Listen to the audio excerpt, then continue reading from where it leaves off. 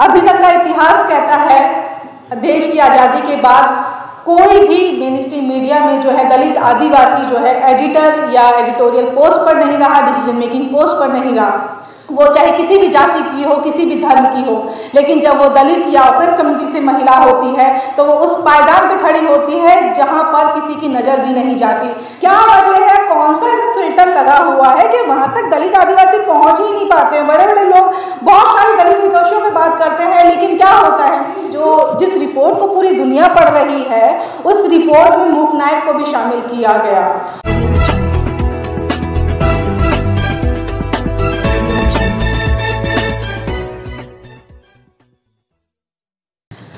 बाबा साहिब ने मूक नायक की शुरुआत 1920 में की थी।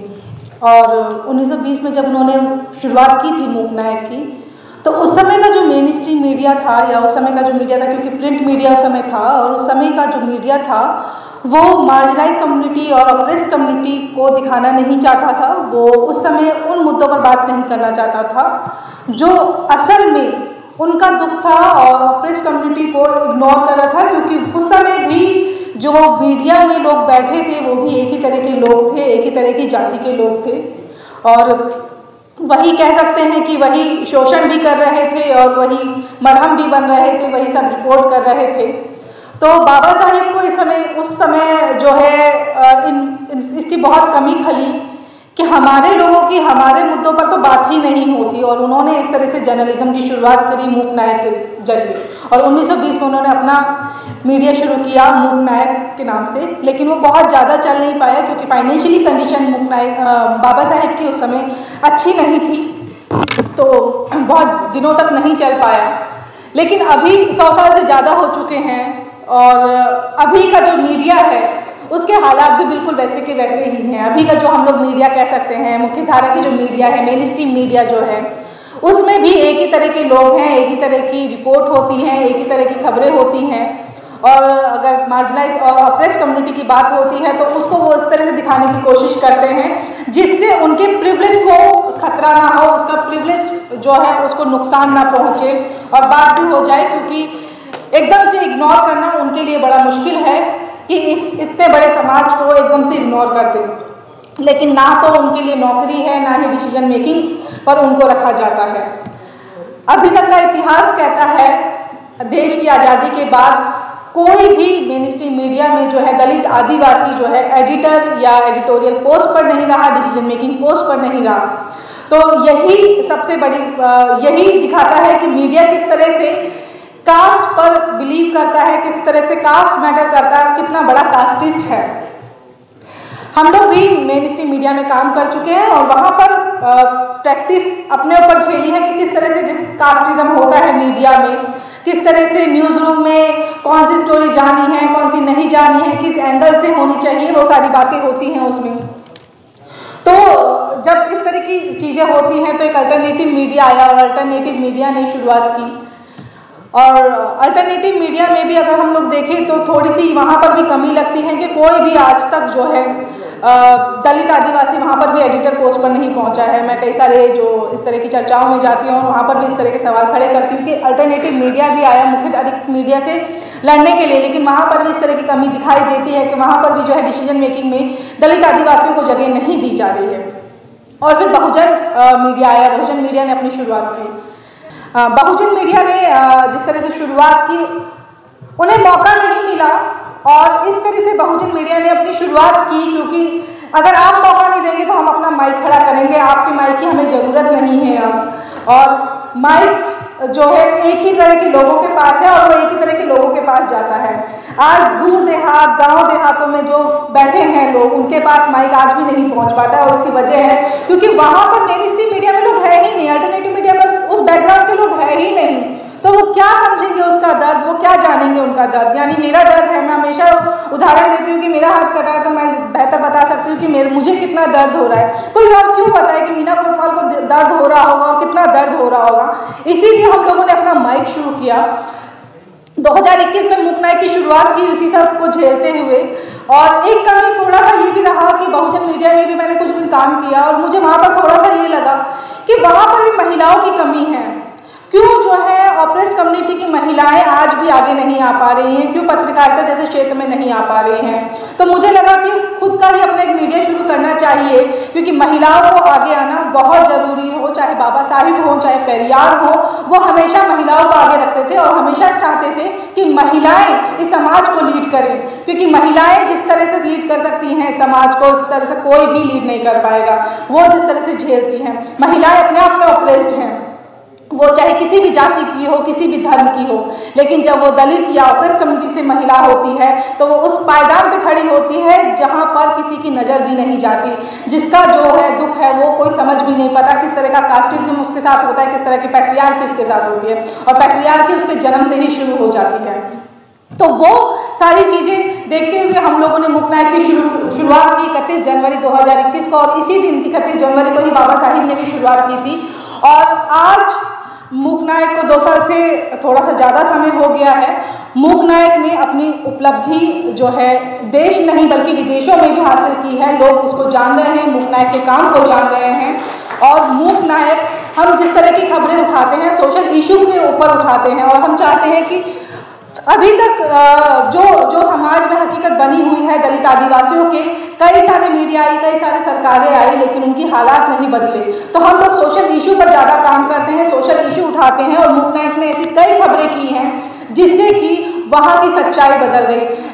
मध्य प्रदेश का एक उदाहरण देना चाहूँगी। 40 करोड़ का एक बजट पास होना था, जो दलितों के लिए था, दलित फाइनेंशियल कॉरपोरेशन के लिए था वो। और वो पास ही नहीं हो रहा था। मुंगना की खबर हुई और उसके बाद 38 करोड़ का बजट पास हो गया।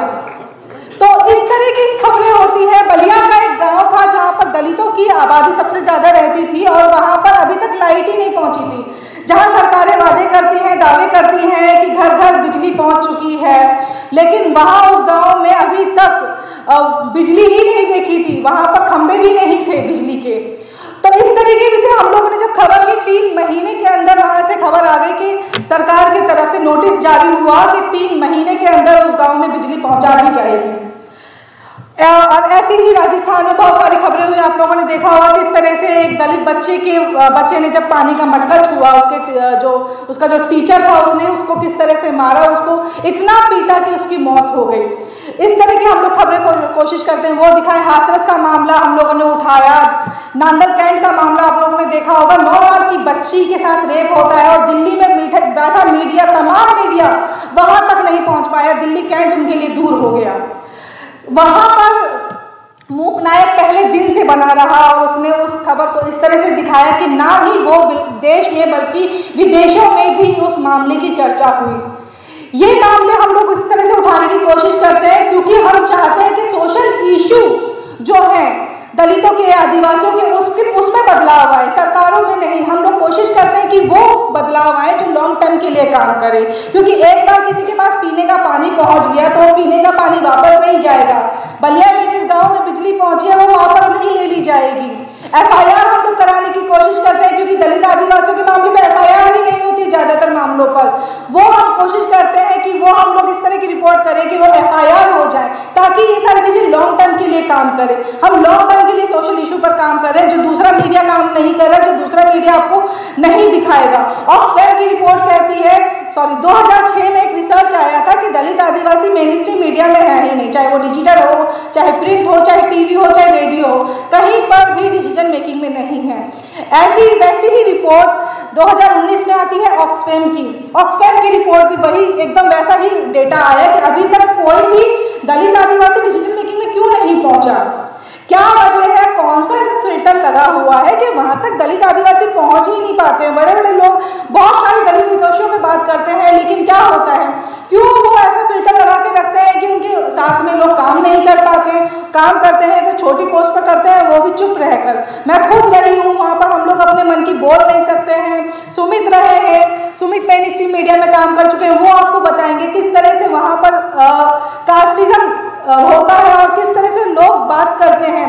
दलितों पर किस तरह से बात करते हैं कि उनको कहाँ रहना चाहिए? कभी भी वो आपको डिसीज़न मेकिंग का डिसीज़न मेकिंग पर नहीं रखेंगे। इस तरह की चीज़ें होती है। तो लंबे समय तक रिसर्च कहता है कि कोई भी अभी तक नहीं पहुँचा। 2022 में ऑक्सफैम ने फिर से एक रिसर्च किया। इसी पर कि कौन कौन अभी भी जो है आ, मीडिया में कौन मिनिस्ट्री मीडिया में है और कौन कहाँ पर कौन से लोग हैं। ऑक्सफैम की रिपोर्ट में मूक नायक को भी शामिल किया बड़े बड़े मीडिया के साथ। तो मेरे लिए तो ये भी उपलब्धि थी कि ऑक्सफैम जो जिस रिपोर्ट को पूरी दुनिया पढ़ रही है, उस रिपोर्ट में मूक नायक को भी शामिल किया गया। और पहली बार, आज़ादी के पहली बार, पिचहत्तर साल बाद आज़ादी का हम अमृत महोत्सव मना रहे हैं। पहली बार ऐसा देखा गया कि कोई मीडिया डाइवर्सिटी जिसने मेंटेन किया वो मूक नायक रहा।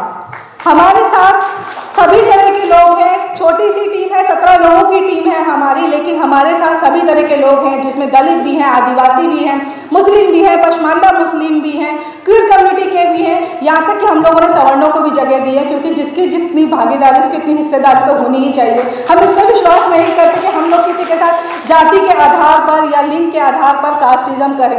हम लोग कोशिश करते हैं कि जेंडर और कास्ट पर हम लोग फोकस करें, ताकि जिस तरह का इशू आए, उन लोगों से हम लोग बात कर सकें, उस मुद्दे पे हम लोग उनसे समझ सकें। कहीं, हम में कहीं कभी तो नहीं रह रही।